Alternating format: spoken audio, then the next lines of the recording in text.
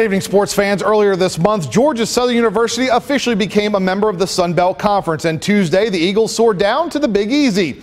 Georgia Southern head coach Willie Fritz and some Eagle players taking part in Sun Belt Conference Media Day at the Mercedes-Benz Superdome in New Orleans. Representatives of each of the league's 11 football playing teams were on hand for this event. Of course, a lot of talk about the Sun Belt Conference's recent expansion that includes Georgia Southern and Appalachian State, plus Idaho and New Mexico State for football only.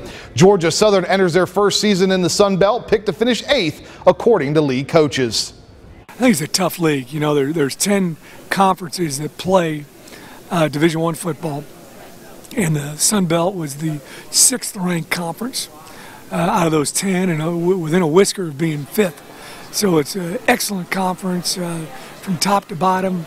Great coaches, outstanding athletes. It's one of the things I've observed while I've been watching film of, of uh, the other teams we're going to be playing this year from the Sun Belt Conference.